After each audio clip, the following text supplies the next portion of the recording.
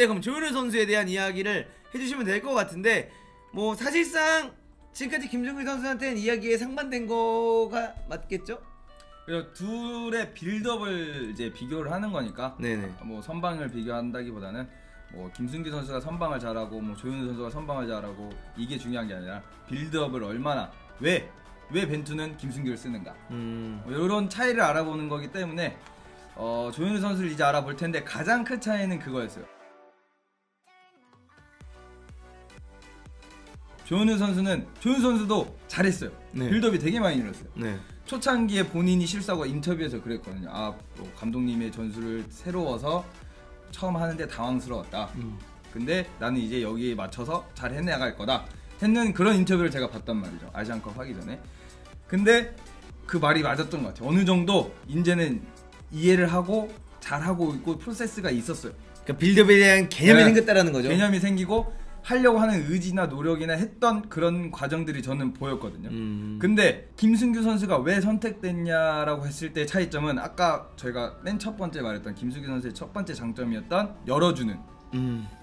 이 장면에 있어서 조현우 선수가 김승규 선수에 좀 많이 뒤처져 있잖아요. 그러니까 그게 어떻게 보면 가장 중요한 포인트다. 네. 그래서 공이 나한테 들어왔을 때 반대로 애초에 여는 느낌을 내면서 축구를 하는 거랑 네.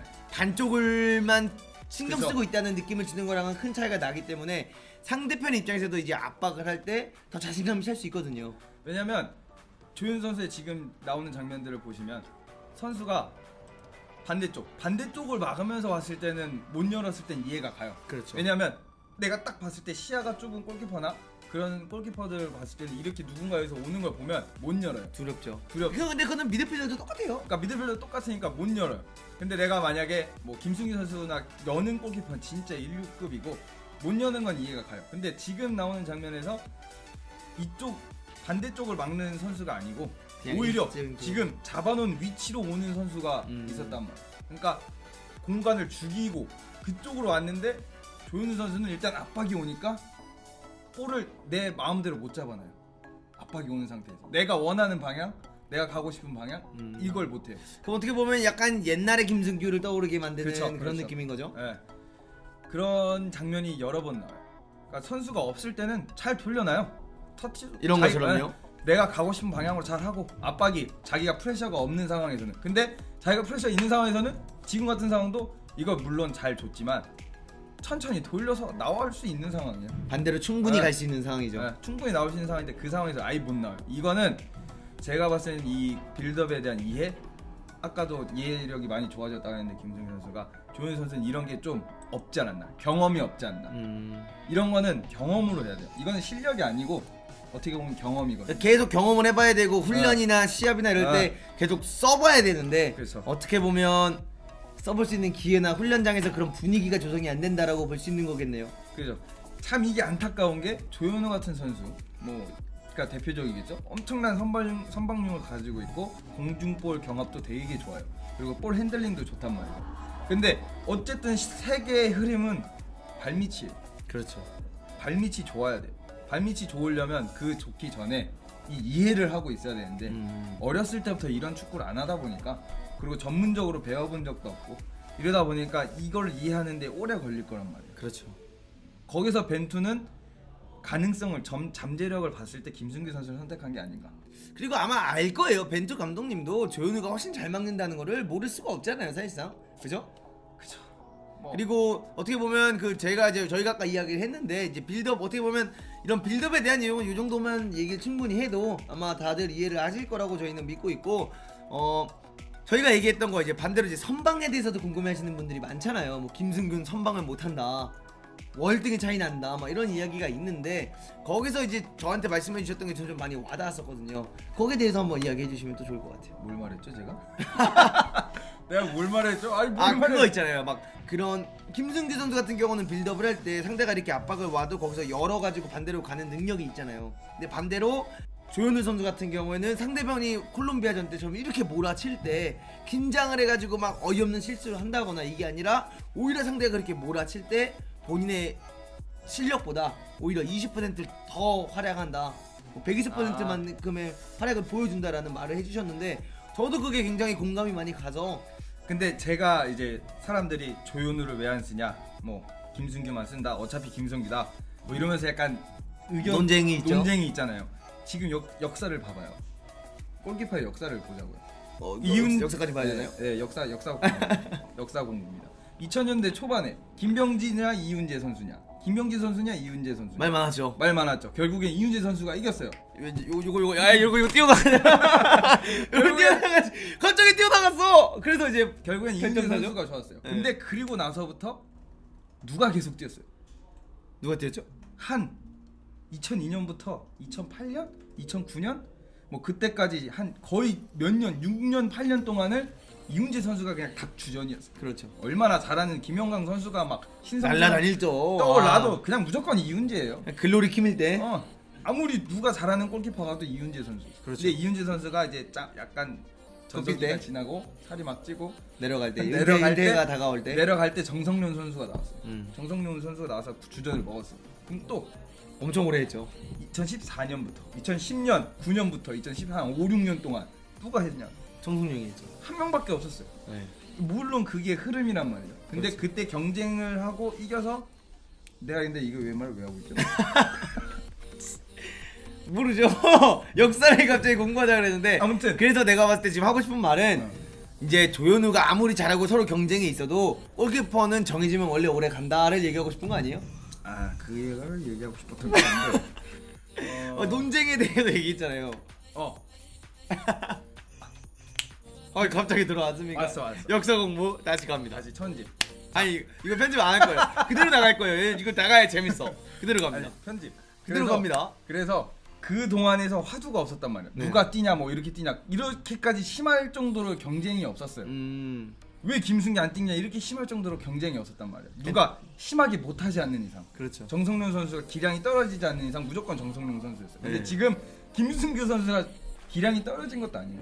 조현우 선수가 기량이 떨어진 것도 아니란 말이에요. 근데 둘이 엄청나게 경쟁이 치열하잖아요.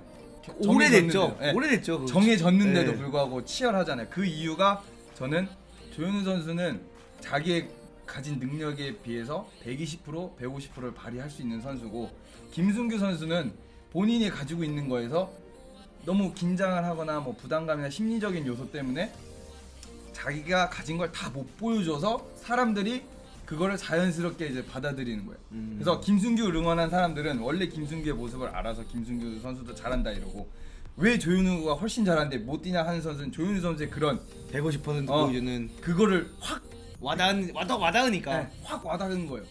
조윤우 선수가 선방이 기가 막히게 멋있게 해요. 음. 조현우가 멋있게. 약간 대야처럼 하죠. 멋있게 해요. 누가 봐도 와 할 정도로 멋있게 해요. 그리고 그게 뇌리에 되게 임팩트가 남는 임팩트가 사람이다. 딱 남아요. 음. 근데 그게 본인이 마, 못 막을 것 같은 걸 막아서가 그런 거거든요. 어떻게 보면 이유가. 근데 그게 제가 말했던 120, 150%를 발휘한다. 근데 조- 김승규 선수는 좀 아쉬워요. 그런 부분에서 네, 세이빙 국대에서는 세이빙 네, 모습을. 특히 국대 같은 경기에서는 그런 모습이 별로 없었어요.